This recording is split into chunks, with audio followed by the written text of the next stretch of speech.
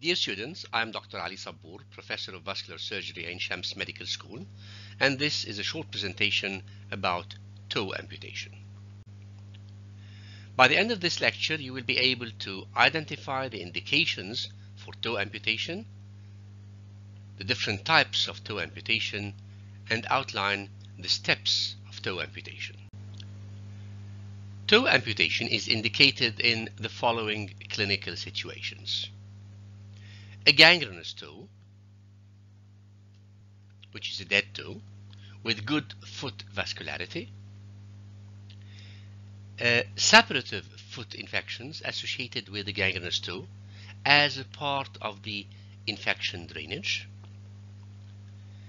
deep toe infection with severe osteomyelitis, this is a case of massive tissue destruction, again crush trauma with massive tissue destruction, and for some orthopedic deformities to treat and avoid complications such as hammer toe with phalanx tip ulcer. This is actually a relative indication. You should not attempt amputation of an ischemic or a gangrenous toe in an ischemic limb before correcting ischemia.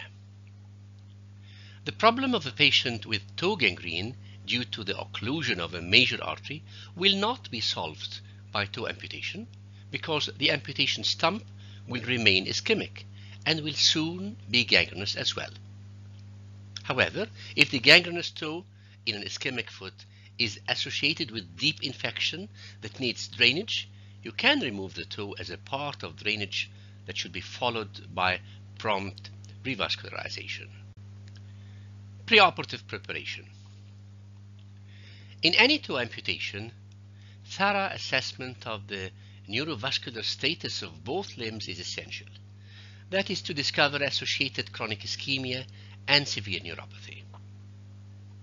Remember that you are treating a patient and not a toe. So evaluate comorbidities to be considered in the postoperative patient's management. Do not forget to take an informed consent for the procedure you are going to do. Explain why you are why you are going to amputate and the expected uh, limited morbidity that may result. Perform amputation at a level that makes anatomical sense. General principles in toe amputation. In general, the aim of the surgeon is to conserve as much tissue possible and preserve function.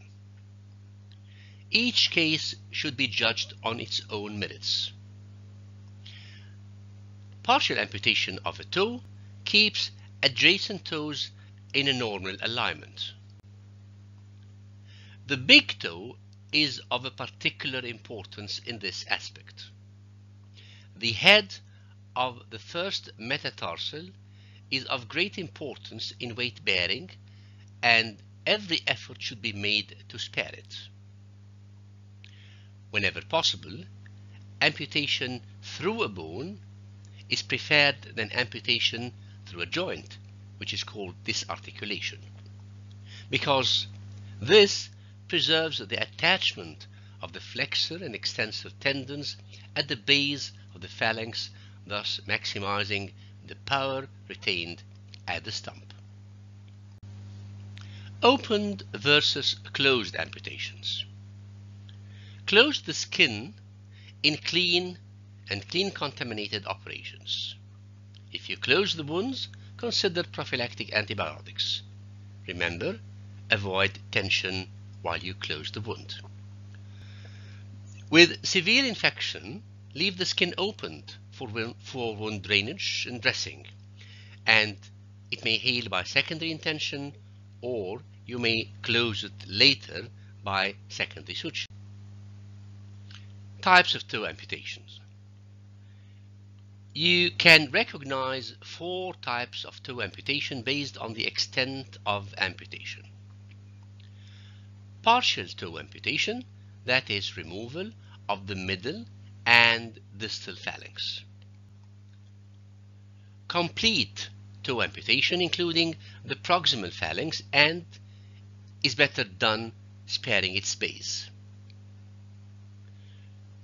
Toe disarticulation, any amputation done through the joint.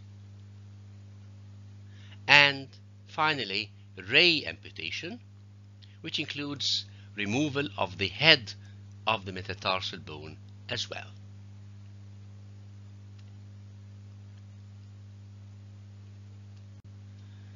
Anesthesia. In diabetic patients with severe peripheral neuropathy, no anesthesia is required. In non-diabetic patients, adequate anesthesia is required. We usually use regional anesthesia in the form of ring anesthesia or ankle block. With severe infection and preserved sensation, the patient may need general or spinal anesthesia. Several incisions can be used. The most popular is the racket incision. For amputation of the first and fifth toes, we prefer to orient the handle of the racket on the medial or lateral surface of the respected metatarsal head. For the second, third and fourth toes, the handle of the racket is oriented longitudinally along the dorsal surface of the digit. The rationale is to keep the scar free from pressure. This picture shows the racket incision and how it is closed. As you can see, for the second toe amputation, the scar is placed on the dorsum. This keeps the scar free of pressure. Using the volar or the plantar skin for stump coverage provides a thicker and a more sensitive coverage than using the dorsal skin. Ensure that closure is tension free. This is facilitated by making a long plantar flap. Tendons and bones are divided. Amputation through the bone is preferred than amputation through the joint. Skin is closed without tension in clean and clean contaminated wounds. In the presence of infection, necrotic tissue is debrided the pus usually tracks along the tendon sheath. This should be observed, discovered, and drained. Microbiology samples are sent for culture and sensitivity if you find pus. In markedly infected wounds, the skin is left opened for daily dressing. It can be left to heal by secondary intention or closed later with secondary sutures. Now, this is a particular type of amputation which is the ray amputation. It involves amputation of the toe along with all or part of the corresponding metatarsal head. Although a single isolated ray amputation sometimes proved durable, multiple ray amputations narrows the foot extensively and creates biomechanical instability. This is an example in this picture of a diabetic patient with second metatarsal head that was displaced, resulting in an abnormal pressure point, preventing healing of this plantar ulcer. The plantar incision was extended to include the plantar ulcer and removal of the metatarsal head relieved the pressure. If you decide primary closure, consider prophylactic or therapeutic antibiotics. If the skin is closed, weight bearing is completely prohibited until adequate healing is observed. Stitches are removed with evidence of complete skin healing that usually occurs within 7 to 10 days.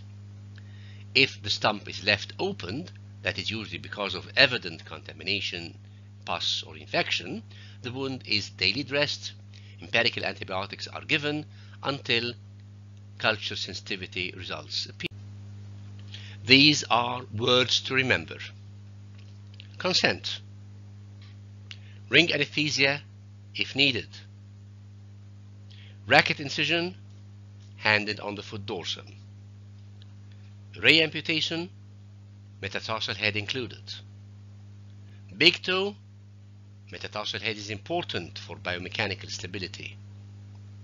Primary closure for clean and clean contaminated wounds. Consider antibiotics. Weight bearing is prohibited if you close the wound until adequate healing is observed. Leave the skin opened until you clear infection. Remember culture and sensitivity. Thank you.